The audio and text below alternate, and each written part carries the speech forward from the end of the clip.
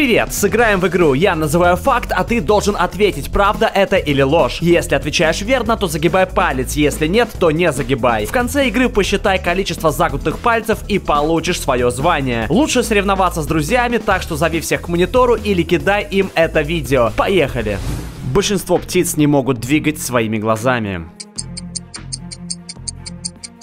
Это правда. Большинство птиц не могут двигать глазами, потому что они не сферические, как у млекопитающих. Плюс глаза у птиц тетрахроматические. Это означает, что они видят четыре основных цвета, в то время как человек видит только три цвета. Поэтому птицы могут видеть в ультрафиолете и различать оттенки цветов, которые кажутся человеку одинаковыми. Существует способ всегда доставать игрушку из автомата с игрушками. Это ложь. Такое невозможно по определению, так как автоматы с игрушками это самый настоящий лохотрон. У таких аппаратов существуют программные настройки, которые меняют давление в клешне каждый раз, когда играет новый игрок. Тебе может только повести, и ты будешь тем игроком, в клешне которого будет достаточно давления, и тебе всего лишь позволят вытащить игрушку.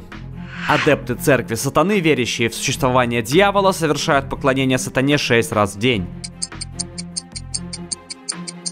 Это ложь. Более того, церковь сатаны начинается с атеизма. Адепты этой церкви не верят ни в бога, ни в сатану. Строго запрещается умирать в здании английского парламента.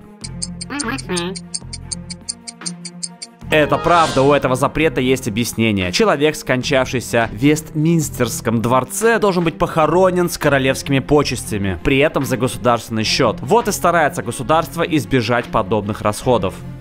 На гербе Челябинска изображен верблюд из-за ошибки в перерисовании со старой версии. Ложь. Власти решили вернуть Челябинску исторический герб, на котором изображен верблюд, в знак того, что развитие города зависело от успехов торговли. Средства массовой информации КНДР сообщили, что сборная страны по футболу вышла в финал чемпионата мира, который проходил в Бразилии в 2014 году. Это правда. На фейковом видео видно, как футболисты КНДР забивают один за одним мячи в ворота соперникам, а вождь Ким Чен Ын машет болельщикам с трибуны. Согласно сюжету, команда КНДР якобы победила сборную Японии со счетом 7-0, а также сборную США со счетом 4-0 и даже одержала победу в игре против сборной Китая 2-0. На самом же деле сборная КНДР вообще не принимала участие в чемпионате мира по футболу в Бразилии, поскольку не прошла групповой этап. Название хот-дог не имеет никакого отношения к собакам.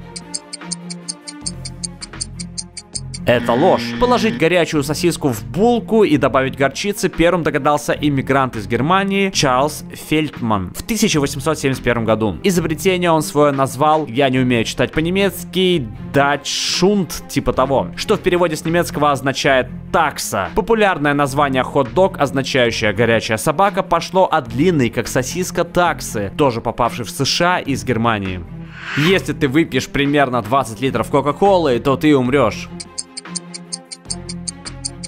Это правда. Смертельная доза сахара по последним данным 29,7 грамм на килограмм массы тела человека. В одном литре колы содержится около 100 граммов сахара. Таким образом, если ты весишь 80 килограмм, то тебе необходимо выпить 23 литра, чтобы совершить кола-суицид. Высота самого маленького небоскреба 12 метров. Это правда, некий инженер Макмаун предложил проект здания высотой в 480 футов. Это около 146 метров. Через год строительство закончилось, однако высота здания составила всего 12 метров. Оказалось, что в проекте инженер указал высоту не в футах, а в дюймах, на что заказчики внимания не обратили. В итоге попытки инвесторов вернуть свои деньги через суд не увенчались успехом. Самая большая матрешка в мире находится в США.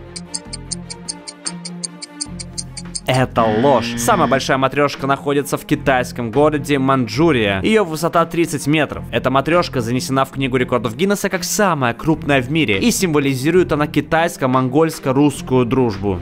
Пиши в комментарии свое звание, а также предлагай сыграть в эту игру своим друзьям и посмотри кто кого. А также предлагаю тебе поиграть в предыдущие выпуски «Правды или ложь».